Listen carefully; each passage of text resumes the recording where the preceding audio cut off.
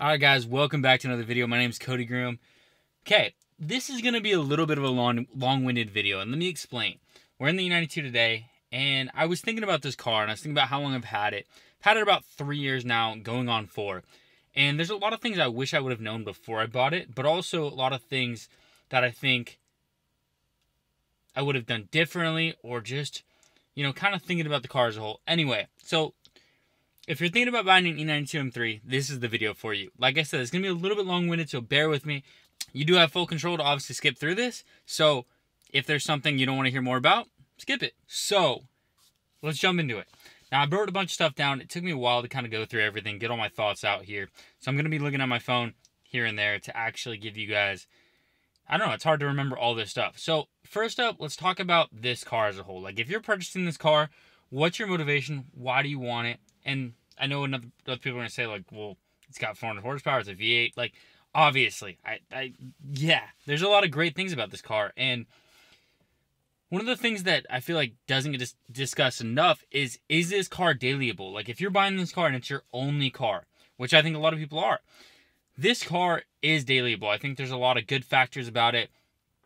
I don't know if that's a word, but we're using it today obviously gas mileage sucks. We're not that's not why you purchase a car like this. That's not even on there. But that being said i average i think about 15 miles a gallon.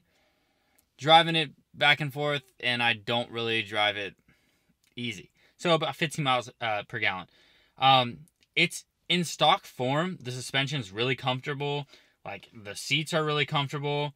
You can definitely drive this back and forth from work from wherever um, you have room for back seat. I mean, back seats for passengers. There's a decent amount of trunk space. I mean, it's a good sized car. It's definitely not a small car, and so that being said, you got a lot of room. You got a lot of room for all the all the stuff you need. Um, when it comes to the ergonomics of the car, I feel like it's pretty good setup. There isn't a lot of storage space for other than the trunk. Like you have this little center console that I know you guys can't see right now, but there's not a lot of storage. Like that's it. There is a little cool part of the door where the actual flaps open. So in other words, the bottom part of this door, I don't think you guys can see it. You guys can't see that. But this will open and it's kind of cool. It's a little neat feature, but again, there's just not a lot of storage in here.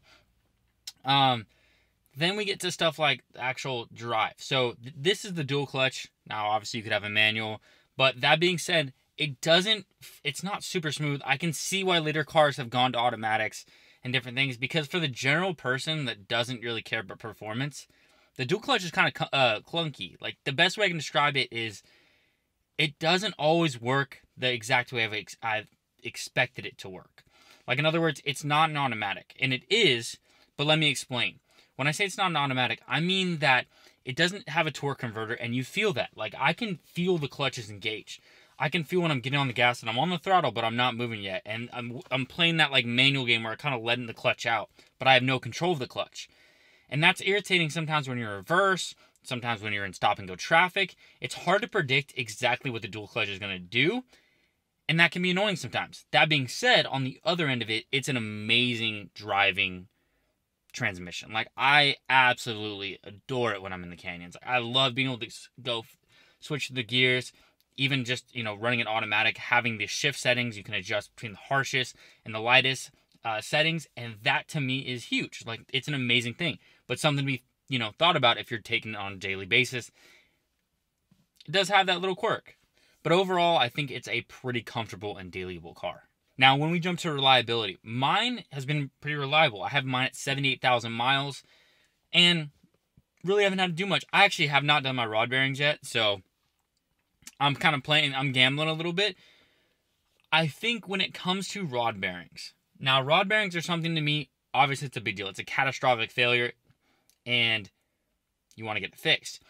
I think a lot of it has to do with how people drive their cars. Now, one thing I do constantly, and this may not do anything, but based on people I've talked to that know more than I do about this, is that it has a lot to do with not letting the car fully warm up.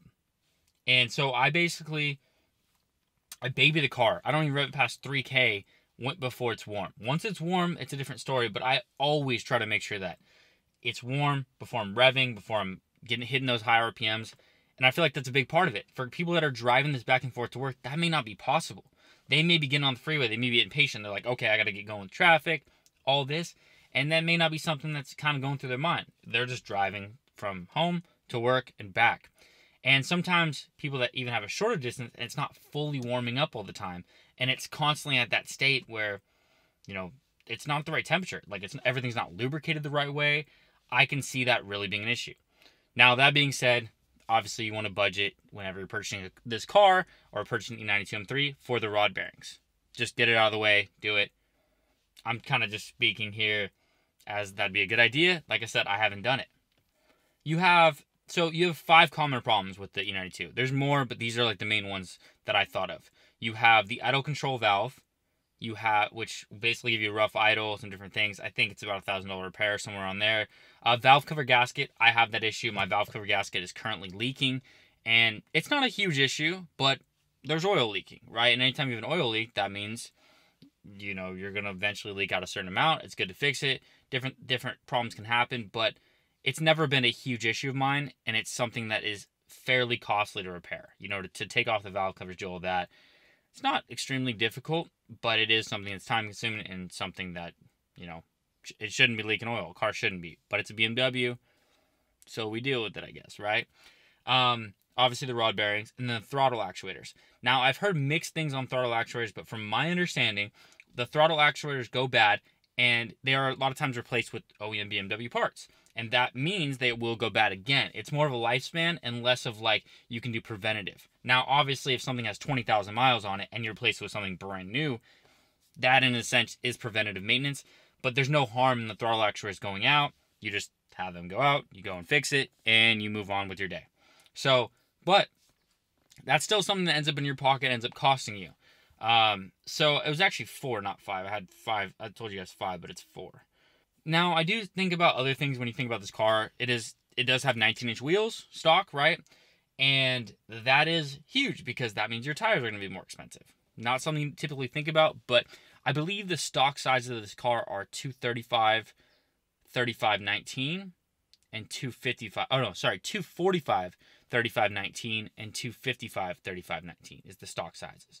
I'm not sure. I haven't ran stock sizes in a long time, but that at 19 inch wheel does get expensive. And this being a 400 horsepower, 400 horsepower rear wheel drive car, you do want some sticky tires in there. You want something that can support the horsepower.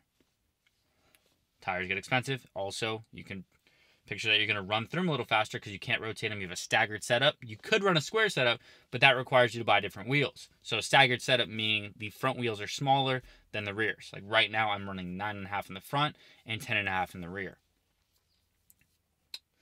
So I think if you're planning on purchasing a car like this, you need to have at least like three to five grand ready for anything that's there. Not even stuff to go wrong, just general wear and tear.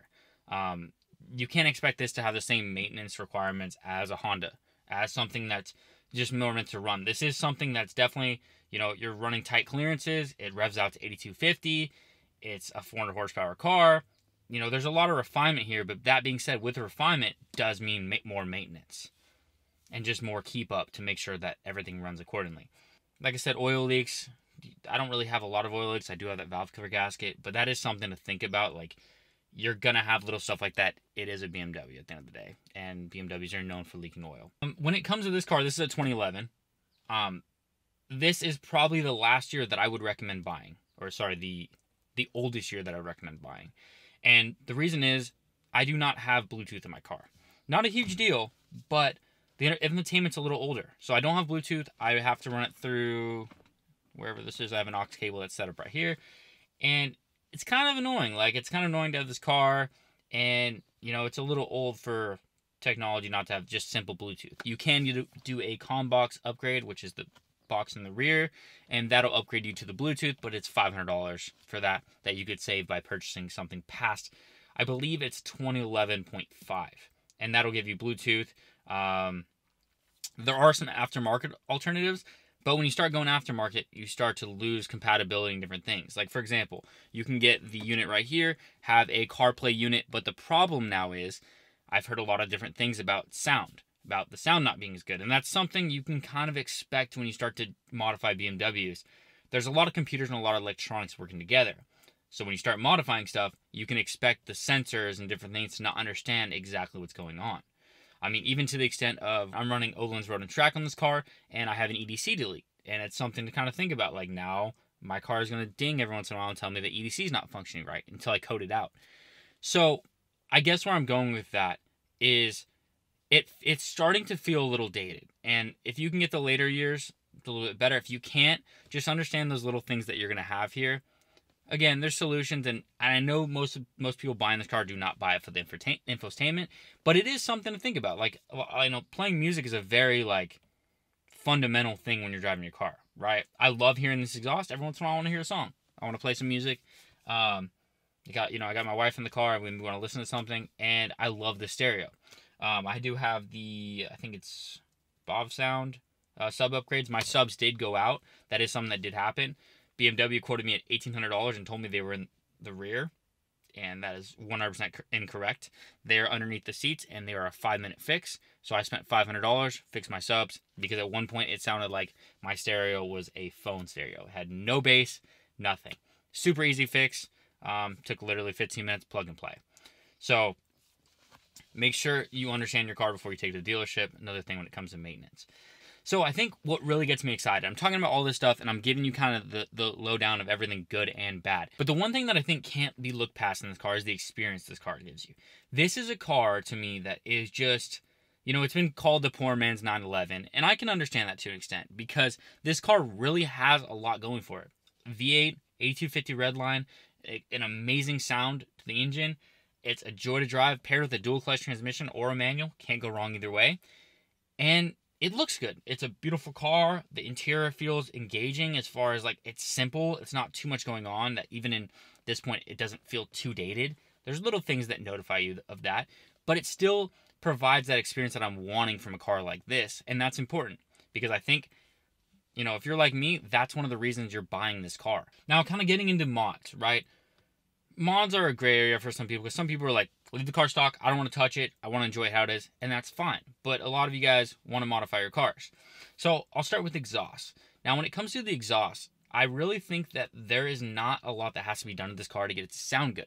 It's already a high revving V8. There's not that much you have to do, right? So, that being said, I'm running test pipes, which delete the cats, and then I'm running an axle back and performance exhaust currently. Um, I've also ran an Axleback that I have a custom made one from Magnaflow that I really do enjoy as well. That's a little bit louder one. It's a little lower. This one's a little higher pitched, a little more exotic sounding. It just depends on what you want. So there are some bad sounding exhausts, but I would say for the most part, if you go with a reputable exhaust, they sound they all sound pretty damn good. This car by itself sounds good. So you don't have to do a lot when it comes to that. Now, here's the bad part about things. Because this is a naturally aspirated V8, you don't get a lot from bolt-ons and tunes. You can probably expect after doing pulleys, test pipes, and a tune, you can probably expect about 400 wheel, and that's not a lot, right? That's not a lot for today's era of cars. It's still a good amount of power. It's still plenty of fun, but you know, especially people in the 335s. I know you guys are watching. You guys are like, oh well, with a 335, I can make more power. At the N54, you know, okay, and that's fine. But this is not a car you buy for power. This is not a car you buy for speed. This is a car you buy as an experience and you buy to understand how BMW made this car. Everything they put into this, the, the, you know, down to just the basics of the interior, to the way it looks, the engine, the the sound that comes out of this thing, and the drive, the driving experience. Like I know I keep mentioning experience, but that's a large part of what comes into this car. That doesn't make up for the fact that it's slow in terms of torque, right? It doesn't it doesn't have a lot of torque. It, you have to rev it out, but it still feels very quick to me and it's a fun car to drive. I think another part of the mods is there's a huge aftermarket support for these. Um, being that it still is a 3 Series, a lot of things are compatible with a 328i, 335i, and jumping into the M3. So there is a huge aftermarket support from everything from steering wheels to paddle shifters to gauge clusters, trim pieces, front lips, like you name it, there's stuff out there. And it, there's a lot of relatively affordable stuff, and there's a lot of more expensive stuff. And I think there's not a lot of cars that I can say that have a similar aftermarket experience as BMWs. BMWs are very well known for having a ton of aftermarket support. And that's awesome. It wasn't always like that, but it's cool to see it now and see just all these assortments of parts coming out. So that is one cool thing. If you are someone that loves to modify your car, there's mods everywhere. There's a ton of stuff you can do, and I think it's really. I think jumping into kind of wear and tear when I think about the car, like there are a lot of materials in here that I wish weren't in here, and I say that like they had kind of this uh plastic plastic um I don't even know what to call it. It's almost like a plastic wrap or something that was over the steering wheel trim piece. It's on like some of the window knobs, and it's something that I can tell kind of just wear out over time. I don't know if it's a protectant over like the stock the stock plastic because it's not clear. It's definitely black. Um, but it wears out and it just it's something that's kind of a hassle to peel off. It's something I have to completely scrub off or like kind of pick off. Wish they didn't have that on there. I'm also noticing little things like the buttons over time. This is this I know guys, I know this is kind of like a I don't know how how much you guys care about this, but the buttons, like little things like my AC, my AC knobs, like the buttons are kind of scratched off, and you can expect that it's t- this car's you know ten years old at this point, and uh, almost eleven by the fact that it's a November of 2010 uh, manufacture date, and so you can expect a lot of things like that. Now, do a lot of those things matter? I feel like my interior still looks pretty good. I have 78,000 miles, so it has been driven. It's not something that's just been sat in the garage. But I feel like the interior still looks pretty good. I'm noticing the leather has some general wear and tear. Um, you know, stuff like the bolstering when you're getting in and out of car. That's, you know, typical for a car like this. And so I can't really say that there's a lot that has gone wrong. You know, stuff like floor mats. I need to get new floor mats. But I think where you can really start to think about cars like this is when you are getting up there in mileage, you have to remember that the car's been driven. And with something like this, there are a lot of things that can get really expensive. So when you're looking at mileage, yeah, you can have a car that was maintained really well and have good things, but also stuff like the Guibo and you know, in the drivetrain, everything, the bushings, you can have suspension instead of all the wear on wear and tear on it. So I think stuff like that is where you start to dive into typical things that you should be watching out for when you're buying a used car. Right? If this has a hundred thousand miles and someone has been driving this thing through canyons and ripping through it, you're gonna have some wear and tear. You know, that's just the product of driving it. So I think really looking at the 92, looking at it as overall picture, right? If you're going to buy one of these, you're like, okay, so where, how was it driven? You know, how many miles? What was replaced? Typical stuff. And then start to dive into the common problems. You know, where rod bearings done, um, throttle actuators, when have those been done? Um, I think motor mounts are also a common issue I didn't mention earlier. But I think kind of using your best judgment around those common problems. When I think about buying another one of these, that's the kind of things that go through my head. Um, I think it's not a car that I would recommend buying as your only car, but like I said, it is daily drivable. I just wouldn't recommend taking something like this and daily driving it. Even if you can kind of, unless you're daily driving it like a small amount of miles, you can allow it to warm up, all those things. That's fine. Just understand that this not that's not what this car was meant for. This car is essentially the track edition of a 3 Series and that's something to be thought out. It's not as daily drivable as something like the F80.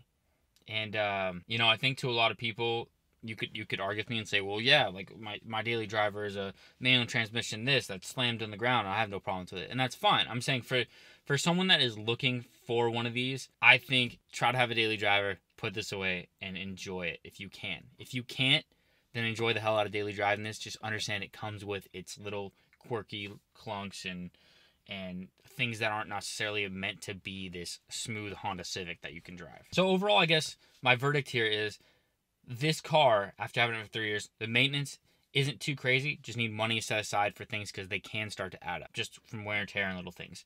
The comfort of the car, you could it's definitely a comfortable driving car. Uh, it's spacious inside, and the you have the trunk, you got room in there. Nothing to complain about when it comes to that. The looks still look great in 2021 to me. They, it still looks modern. It has little things that, that tell how old it is, but it, the design still holds true to the test of time. Like it still looks good. So really, guys, I think the E92 M3 is a great buy right now. If you can find one for 30, 27, I still feel like it's worth it. I paid 33 for mine three years ago, and it's still rotating around the same price, which is cool. They are going up in value, but they're also becoming harder to find one that isn't, you know, high in mileage and hasn't been just torn apart. Anyways, guys, I know that was a bit long-winded and kind of rambled on a little bit, but I hope that helped you guys if you're looking to buy an E92 M3. And uh, if you enjoyed it, hit that like button. If you got something to say, leave me a comment below, and I'll catch you guys in the next one. Later.